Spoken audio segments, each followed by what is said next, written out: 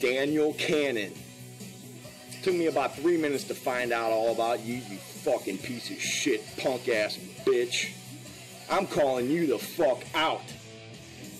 You're a fucking fraudulent real estate agent on the fucking lam because you have numerous DUI convictions.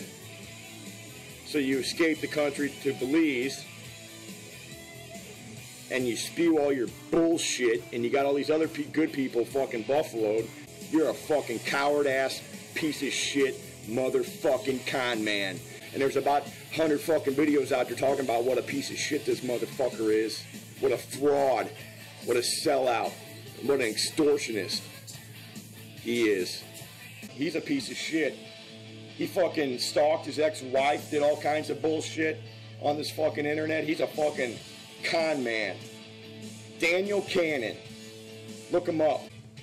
You're a sick motherfucker, Daniel Cannon. You're a sick person.